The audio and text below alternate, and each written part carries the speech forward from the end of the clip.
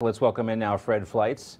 He's with us from the former Chief of Staff of the National Security Council, also the Vice Chair of the Center for American Security at the America First Policy Institute. Fred, great to see you.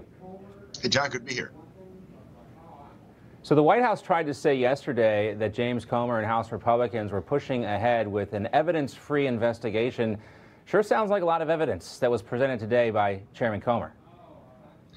It's just 20, at least separate, uh, 20 separate companies $10 million, multiple LLCs, many, many Biden family members involved. I don't know what's going to happen when they keep peeling this onion, but the question I think Americans are asking is is all these foreign companies, all these foreign officials, what do they think they were buying when they were applying all this money into the Biden family? Well, it's fairly obvious. They knew Joe Biden would be returning to government. They were buying influence. Right. The, these were points made not just by Chairman Comer, but also Congressman Byron Donalds. If these were legitimate businesses, show us the business plan, show us the widgets or whatever it was they were making, show us the, you know, what was the product that they were actually getting into, and why can't they answer that question?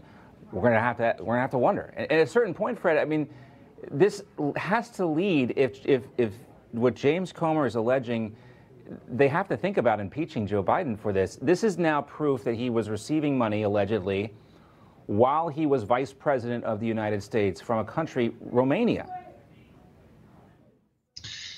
Well, I think that there are many reasons to impeach Joe Biden. That isn't going to happen. We can talk about that. That's an issue that has to come up in, in the 2024 election. Re realistically, uh, we can talk about it in, in a perfect world. He would have been thrown out a long time ago uh, for the terrible way he's run this country, how, how he's damaged the economy, damaged our national security, never mind all this corruption.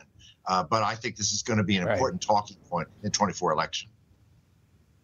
Okay, real quickly, too, just one more note on this uh, whistleblower investigation by the House uh, Judiciary and Intelligence Committee. Uh, they conclude that the Biden campaign took active measures to discredit allegations about Hunter Biden by exploiting these 51 national security former intelligence officials. And it comes after the former CIA uh, director, Michael Morell, admitted to Congress and congressional investigators that he helped trigger this letter. And nobody, Fred, has been held to account for this yet. CIA management was involved. Apparently, people who cleared the letter helped find more signatories. And Morell said that he pushed this letter forward to help Biden get reelected. And there's an email in this new report, and it says the following this is from Morell to a former CIA officer. The more intelligence officers, the better. Campaign will be thrilled.